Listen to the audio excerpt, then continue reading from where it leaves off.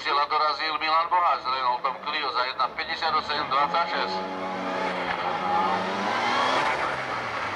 Na vyšším jasnom cieli by mal byť Jaro Slavica, zatiaľ sme.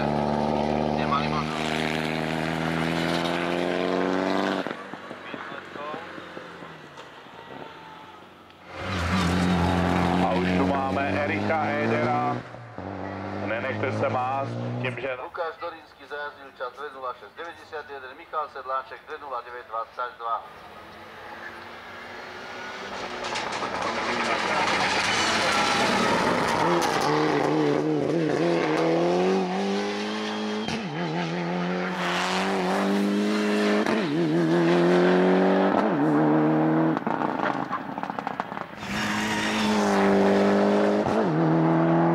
a taky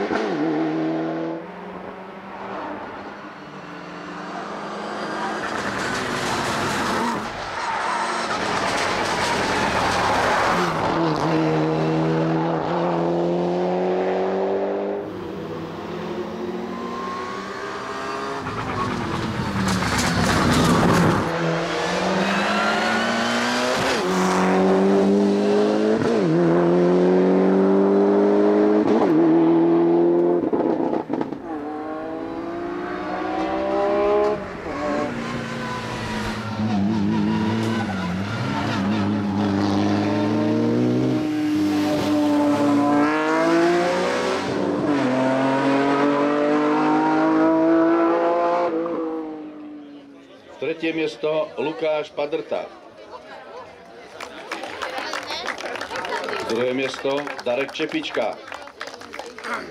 Výťazom triedy sa stáva Lukáš Keller.